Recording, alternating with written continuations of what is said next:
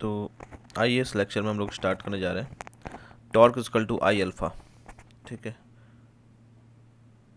Tau is equal to I alpha पे question ठीक है? प्रॉब्लम्स कुछ सॉल्व करेंगे, ताकि आपको समझ में आ जाए कि how to evaluate angular acceleration when any force ठीक is applied on an rigid body तो आइए देखते हैं सिंपल क्वेश्चन से स्टार्ट करते हैं। यहाँ पे आपको एक रॉड दिख रहा होगा। जैसे यहाँ पे। ये रॉड है, जो एल लेंथ का है और मास एम है। क्लियर है? और किसी एक एंड पे हिंज है। ठीक है? और वर्टिकल ये जी है। यानी ये रॉड ऐसे गिरेगा। ठीक है? इसके अबाउट रोटेट करेगा तो ऐसे ऐसे ऐसे। ठीक है?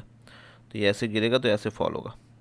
तो इस इंस्टेंट पे जब ये हॉर्जेंटल है, ग्राउंड ऐसे है, नीचे ग्राउंड है, जी नीचे, ग्रेविटी नीचे लगा हुआ है, जब इस हॉर्जेंटल पोजिशन से इसको रिलीज़ करेंगे तो उस इंस्टेंट पे हम लोग को क्या बताना है? क्या बताना है? Angular acceleration and reaction force by the hinge.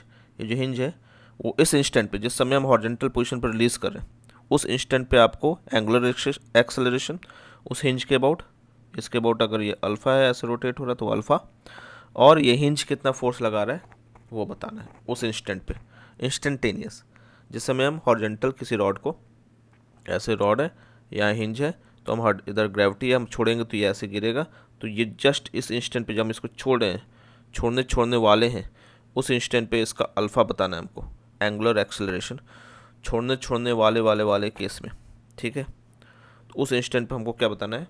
Angular acceleration और उसी इंस्टेंट पे हमको क्या बताना है? इसका रिएक्शन फोर्स कोई किसी डायरेक्शन में रिएक्शन फोर्स होगा, ठीक है? जैसे अगर हम रॉड को देखें, मान लीजिए यहाँ पे हिंज है तो ये जब गिर गिर रहा होगा, छोड़ेंगे रिलीज़ करेंगे तो किसी डायरेक्शन में लगाएगा फोर्स तो उसको हम दो पार्ट में देख लेंगे, इधर वाला मान लेंगे एफ़ वाई और इधर वाला मान लेंगे एफ़ एक्स ठीक है? किसी दो परपेंडिकुलर डायरेक्शन में लिख लेंगे, ठीक है? वर्टिकल वाला एफ़ वाई मान लें और हॉर्जेंटल वाला एफ़ एक्स ठीक? ये मान लेंगे हिंज ने फोर्स लगाया तो ये भी हमको निकालना है। और क्या निकालना है? अल्फ़ा आइए, इसको सॉल्व किया जाए तो पहले इसका फ्री बॉड डायग्राम बनाते हैं। रॉड का जब आप फ्री बॉड डायग्राम बनाओगे तो सेंटर मास बीच में। बताए थे रोटेशनल मोशन के लिए? इससे जस्ट पहले हम लोग सेंटर मास पढ़े तो इसीलिए पढ़े क्योंकि सेंटर मास जब तक नहीं पढ़े तो उससे पहले तक, जब भी हमको फ्री बॉड डायग्राम बनाना पड़ता था तो चाहे एक बॉड ऑब्जेक्ट या सिस्टम कितना भी बड़ा हो, हम उसको पॉइंट मास मान लेते थे। पर सेंटर मास पढ़ने के बाद रोटेशनल मोशन में, क्योंकि हमको देखना है तो रोटेशनल मोशन में हम लोग कभी भी पॉइंट मास नहीं मानेंगे। जो जैसा ऑब्जेक्ट है, वैसा उसका बनाएँगे। फ्री बॉड डायग्राम में भी उसको सेप वैसा ही देंगे। ऐसा क्यों? जैसे कि एक एग्जांपल हम ले लें। मान लीजिए ऐसे है, और यहाँ कोई टेन न्यूटन का फोर्स लगा, और इधर कोई टेन न्यूटन का फोर्स लगा। तो ये रोटेट करेगा ना रॉड को। ऐसे, फिर ऐसे रॉड रोटेट होने लगेगा। ठीक है रॉड ऐसे एंटी क्लॉक रोटेट होने लगेगा। पर अगर इसको आप पॉइंट मास बना दोगे तो इधर से टेन न्यूटन इधर से इधर से टेन न्यूटन इधर से टेन न्यूटन कहानी ख़त्म। ज़ीरो दिखेगा, लगेगा कुछ हो ही नहीं रहा है। जब तक आप इसको बड़ा नहीं दिखाओगे, तब तक समझ नहीं आएगा। जब तक आप इसको बड़ा नहीं दिखाओगे कि दोनों तरफ़ से ऐसे ऐसे लग रहा है, तब तक ये रोटेट होते समझ नहीं आएगा। पॉइंट दिखा दोगे, दोनों तरफ़ से टेन टेन लगा, गायब हो जाएगा। ठीक है? तो रोटेशन को समझने के लिए हमको फ्री बॉड डायग्राम में पूरा बनाना पड़ता है। क्लियर है? तो जैसे ये रॉड था हम लोग का, अब यहाँ हिंज है। हिंज का हम लोग मान लेते हैं रिलीज़ करते समय, जब रिलीज़ हो गया वर्टिकल एफ़ आई है ठीक है? वर्टिकल एफ़ वाई है हॉर्जेंटल एफ़ एक्स है। और कौन सा फोर्स है? एक हिंज लगा दिया और कौन सा फोर्स है? ग्रेविटी ग्रेविटी किस पे लगेगा? मास पे मास कहाँ है? सेंटर पे। सेंटर ऑफ़ मास तो डाउनवर्ड एम जी ये दो फोर्स लगा। और तो कोई फोर्स नहीं लगा। तीन फोर्सेस एक हिंज का एक फोर्स लगा और एक ग्रेविटी ने फोर्स लगाया। ठीक है? क्लियर है? तो एक तो आप यहाँ से देख सकते हो। तो पहले हम टॉर्क ही बता दें आपको। इसमें टॉर्क कैसे लेंगे? तो जब हिंज हो तो आपको ध्यान देना है, कुछ सोचना ही नहीं है। हिंज के अबाउट ही हमेशा टॉर्क लेना है। ठीक है? जब हिंज हो तो सोचना ही नहीं है हिंज के अबाउट ही, क्योंकि रोटेशन उसी के अबाउट होगा। तो आँख बंद करके। याद है हम लोग इक्विलिब्रियम में डिस्कस किए थे कि जब इक्विलिब्रियम हो तो हम वहाँ से टॉर्क लेते हैं, जिससे ज़्यादा number of unknown forces pass करते हैं। पर जब हिंज वाला केस हो, कहीं हिंज हो, कहीं पिवोट हो क्लैम्ड हो तो आप हमेशा वो क्लैम्ड पिवोट या हिंज वाले पॉइंट को ही, के ही अबाउट टॉर्क लेंगे। तो इस पॉइंट के अबाउट लेंगे तो एफ़ आई यहीं से पास कर zero torque F X zero किसका टॉक मिलेगा? तीन फोर्स एफ़ वाई का ज़ीरो हो गया, क्योंकि यहीं से पास करें एफ़ एक्स ज़ीरो हो गया आर ज़ीरो हो गया आर क्रॉस एफ़ होता है टॉक तो किसका मिलेगा? एम जी का खाली। एम जी किधर मिलेगा? यहाँ से देखोगे आप। तो ये ऐसे है। ऐसे देख लें। खाली एम जी का निकालना है हम लोग को। ये एम जी है। ठीक है इसके बोर्ड निकालना है। तो आर ऐसे हो गया। एफ़ ऐसे हो गया। क्लॉकवाइज हो गया। या नीचे गिरेगा। आर क्रॉस एफ़ दोनों के बीच का एंगल नाइन्टी डिग्री तो एम का टॉक देखिए। तो एम का टॉक लगाए तो कितना है ये? ऐसे रॉड था आर की वैल्यू यहाँ से यहाँ मिड तक तो एल बाई टू ये एल है। तो यहाँ से यहाँ तक डिस्टेंस क्या हो जाएगा? एल बाई टू ठीक है? तो M G force M G R L by two और दोनों के बीच का angle sine ninety net torque is equal to इसके अबाउट आई अल्फ़ा इसके अबाउट मोमेंट ऑफ़ इनर्शिया क्या होगा? वन एंड के about M L square by three one end ये ऐसे है perpendicular to the rod axis कैसे पास कर रहा है? एक एंड से और परपेंडिकुलर टू द रॉड तो क्या हो जाएगा? तो net torque is equal to R cross F not is equal to I alpha जैसे F is equal to M A तो net torque is equal to I alpha हम लोग पढ़ चुके हैं ठीक है, जब मोमेंट ऑफ़ इनर्शिया यहीं से डेराइव किए थे हम लोग। तो आई तो आई इसके अबाउट क्या हो जाएगा? M L square by three ठीक, और अल्फ़ा अल्फ़ा कैसा होगा? क्लॉक वाइज तो इसको सॉल्व करेंगे तो क्या आ जाएगा? एल से एल एक कट जाएगा।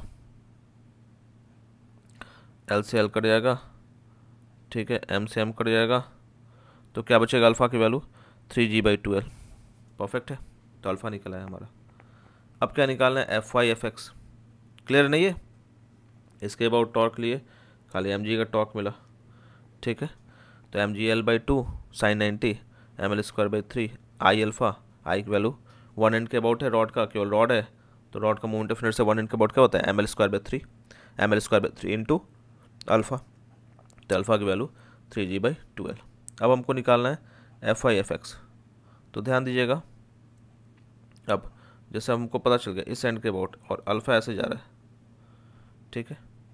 तो हम लोग को एफ़ आई एफ़ एक्स निकालना है तो हम लोग दूसरा क्या लगा सकते हैं? ये एफ़ आई है। इसके अबाउट रोटेट हो रहा है। इसके अबाउट रोटेट हो रहा है तो ये सेंटर मास है ना? तो नीचे अगर हम लोग फोर्स को इक्वेट करें वर्टिकल तो वर्टिकल फोर्स एम जी नीचे नीचे ही गिर रहा है ये एक तरह से, नीचे ऐसे स्लाइड हुआ तो नीचे ही गिरा। तो एम जी डोमिनेटिंग है M G minus F I इसका to mass into acceleration vertical motion देखें तो M G minus F I इसका टू मास इंटू एक्सेसन कौन सा एक्सेसन एक्सेसन सेंटर ऑफ़ मास तो सेंटर ऑफ़ मास का एक्सेसन क्या होगा?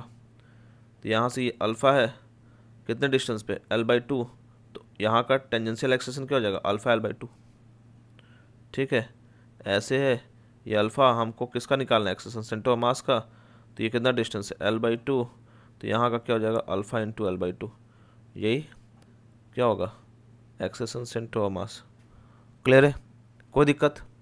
ठीक है। तो यानी नीचे एम जी ऊपर एफ़ आई तो M G minus F I is equal to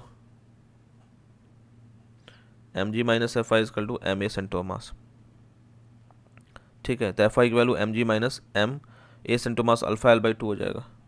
ठीक है अल्फ़ा एल बाई टू की वैल्यू रख दीजिए।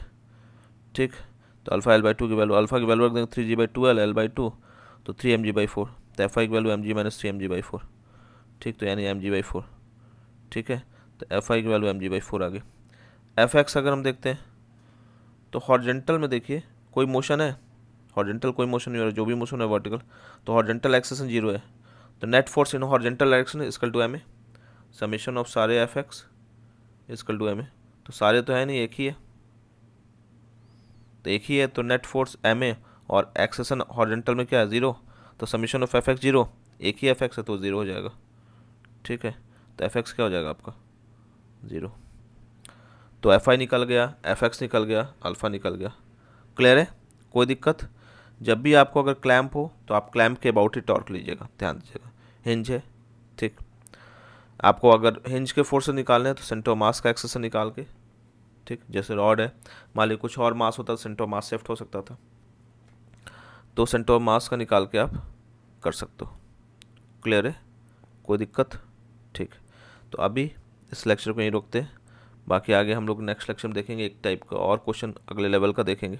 ठीक। थोड़ा सा और उसमें टफनेस बढ़ाएँगे और फिर उसको देखेंगे।